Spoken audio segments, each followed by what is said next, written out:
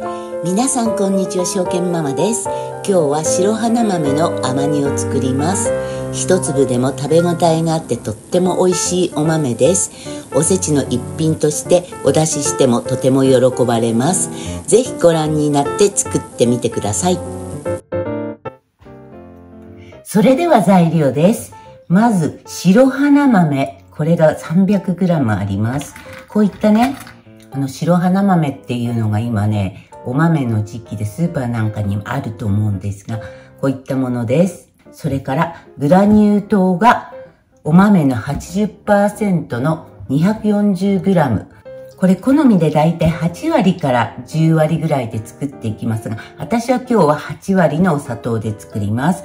白いお豆なので色がついてない白いお砂糖がいいと思いますので、今日はグラニュー糖で作りますが、上白糖でもいいです。それからお塩が一つまみだいたい小さじ4分の1です。あとね、お水です。お水はその都度またご説明します。材料は以上です。はい。まずね、お豆をざるに入れて、これね、お水で、さっと洗いますね。これ本当あの、水道のところでやってください。今日はわかりやすいようにね、このようにボウルでやりますが、優しくお豆を洗ってください。そしたらもう一度洗います。はい、もう一度ね、洗ってきました。そしたら、これをお鍋に入れます。ボウルでもいいです。はい。お水をですね、これ入れて、これね、一晩以上置いておきます。今日は 300g の、これお豆でだいたい5倍くらいのお水を入れます。なので1.5リットルですね。はい、結構ね、たっぷりのお水を入れました。そしたらですね、まあ、ラップとか今日はこういった蓋があるので蓋をして、はい、こんな状態で一晩以上置きます。これね、お豆によってほんと違うと思うんですけれども、新豆ですとね、結構早く戻りますし、古いお豆だと結構時間がかかります。これね、こう、シワがこう伸びてね、あの、ぷっくらするまでこれ戻します。とりあえず一晩これ置きます。それでまだちょっと戻っていないようでしたらもう少し延長して、だいたい24時間くらいまでの間でね、戻していきます。じゃあこのまま今日はね、あの冬ですので特に冷蔵庫に入れなくて涼しいところに置いて一晩置いてください。そして明日になってお豆がね、戻り具合によってもうちょっと延長したりします。じゃあこれでね、一晩お水につけていきます。はい。それではね、お豆がね、ふっくらね、戻ったのでちょっと見てみます。はい、こんな感じです。こんな感じでお豆のね、シワがなくなってこんな感じでふっくらね、すればいいです。最初ね、これ一晩と言いましたが、結局24時間かかりましたね。これお豆のこのあの、新しさとかね、この古さ加減によってもちょっと違ってくると思うので、こんな感じでね、シワがね、取れてふっくらするまで戻してください。ちなみにね、ちょっとね、1個残すとは言ったんですよ。これが、お水につける前のお豆です。こんな感じですね。倍くらいのね、大きさにね、これね、水を吸って膨らみました。はい。このぐらいになるまでね、まだシワがあったりするうちはまだ早いので、しっかりこんな感じでふっくらするまで戻してください。今日は24時間かかりました。じゃあこれを一度お水でさっと洗ってきます。優しくね、この皮が破れやすいので洗ってきてください。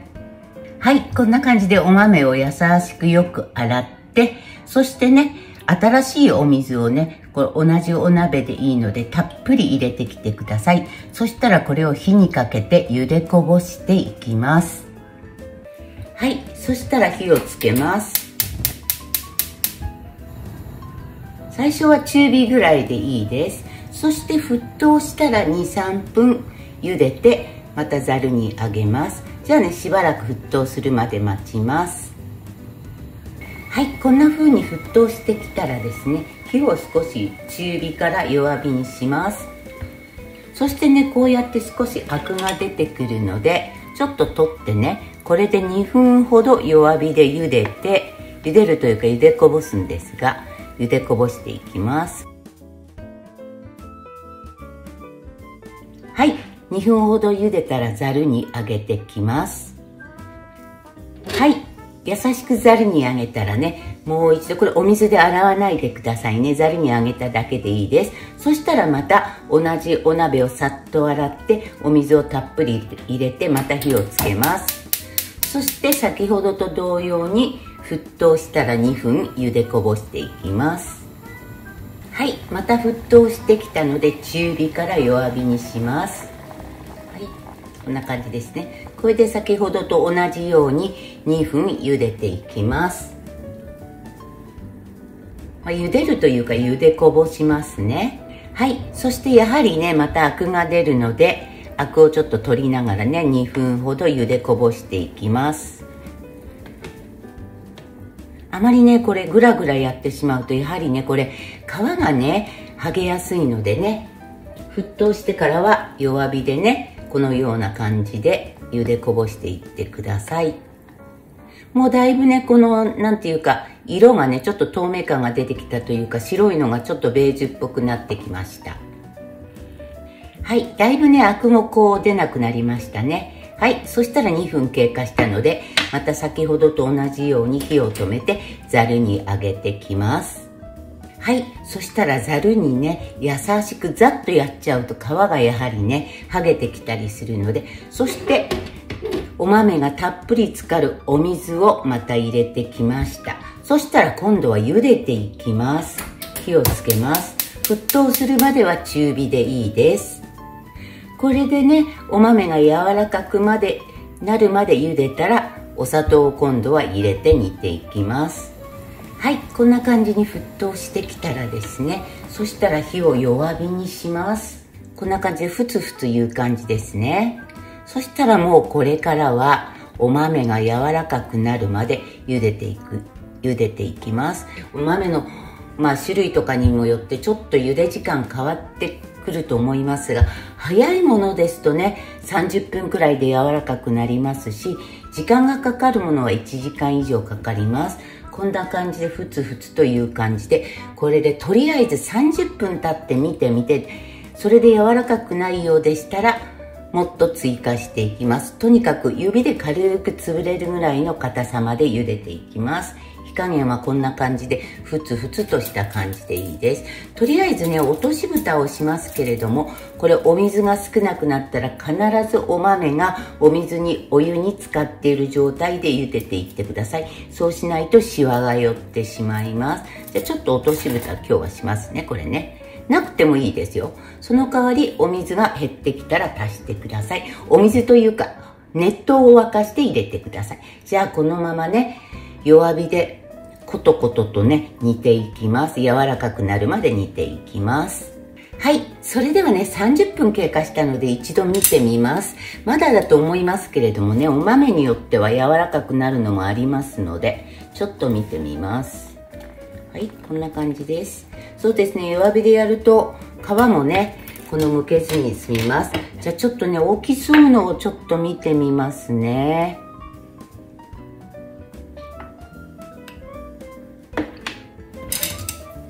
っとお箸で押さえてみます。まだですね、まだ全然硬いです。こんな感じです。じゃあね、引き続き、弱火でね、落とし蓋をして茹でていきます。お豆がお水から出るようであったら足してください。じゃあね、もう少しまた茹でていきます。はい、それではね、1時間ほどね、弱火で茹でました。じゃあちょっとね、火を止めてみてみます。ちょっとね大きそうのを。はい。ちょっとお箸で。こんな感じですね。もうこう潰れる感じ。はい。もうこれで柔らかくなったので大丈夫です。そしたらですねお水が今ね途中で一度お湯をね足しました。そしたらこれもうねざるにあげると崩れてしまうのでここにお砂糖の半量を入れます。まずね半量入れますね。はい。お水はこのぐらいでちょっとお豆が少し出るくらいでいいと思います。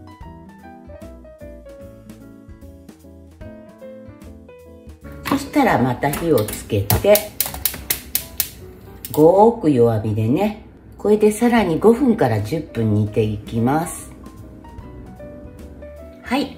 そしたらねごく弱火でね今ね10分ほどね煮ました。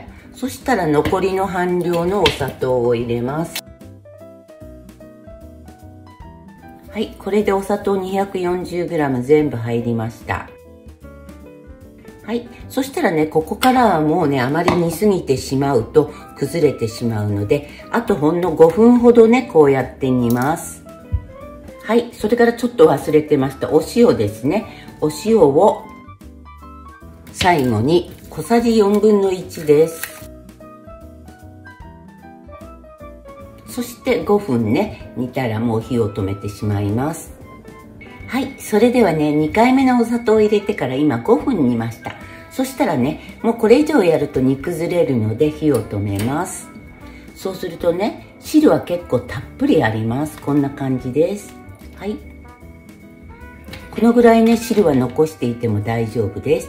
はい。そしたらね、まだ水分これだけありますけれども、これね、このぐらい使っている方がいいので、落とし蓋はもう取ってしまって、蓋をしてこれでね一晩置きますそうするとこのお砂糖がね染みてとっても美味しくなります。今は冬なのでこのままでいいですが夏なんかはねこれ冷めたら冷蔵庫でタッパーへ入れて冷蔵庫なんかで冷ましてください。じゃあこうやって一晩置きます。はい。それではね一晩こうやってお鍋の中にね置いておきました。じゃあちょっと見てみたいと思います。はいこんな感じです。昨日ね、まだ結構この水分あったんですけれども、結構もうお豆がさらにね、このシロップを吸って、とってもふっくらね、こんなあの、ツヤツヤにできています。そしたらこれでもう出来上がりになるので、後で盛り付けていただいてみたいと思います。はい、こんな風に盛り付けてみました。これで白花豆の甘煮の出来上がりです。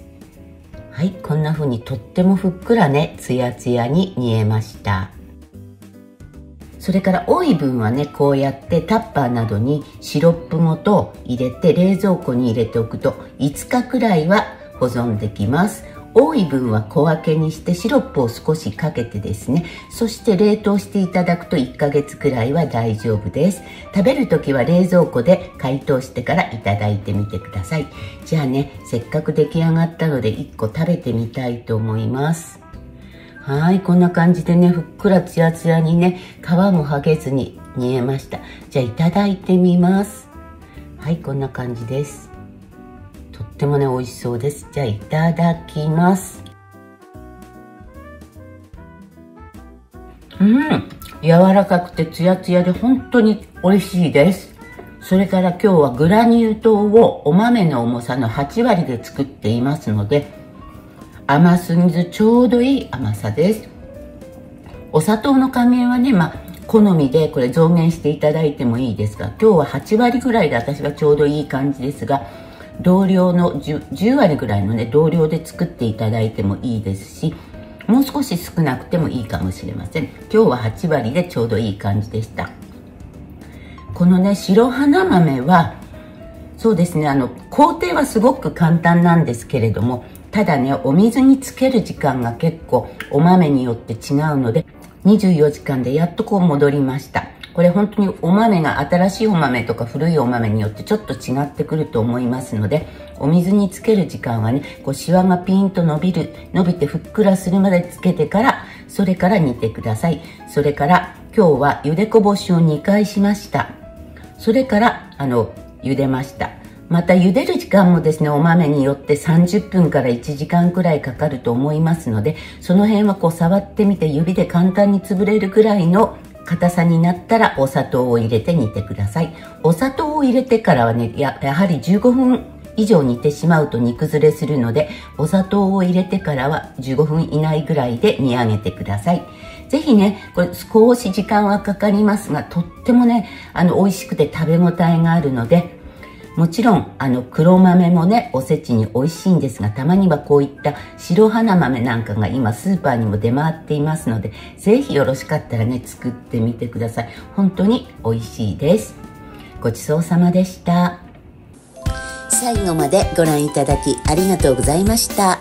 他にもおせち料理のレシピや煮豆のレシピなどの動画もいくつかありますのでよろしければ概要欄に貼っておくのでご覧くださいそれでは皆様また次の動画でお会いしましょう証券ママでした。